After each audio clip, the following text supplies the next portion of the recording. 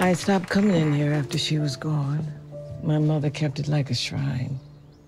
Said she was keeping the room ready for when she came back home. After Mama was gone, I, I put a padlock on it, and that was it.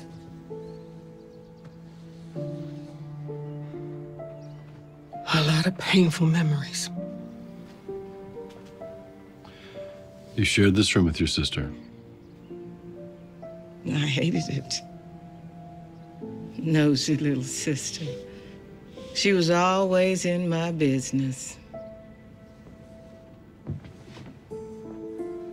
This is the window they used when they took her. How do you know? The flower box. It's loose. I remember it being loose back then. Like someone stepping on it, which could have happened from climbing in. Looks like it's been stepped on more than once. He's right.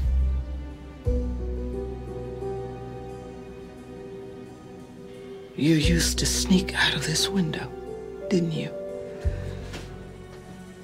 Did you sneak out that night? Yes. Tanya and I both did.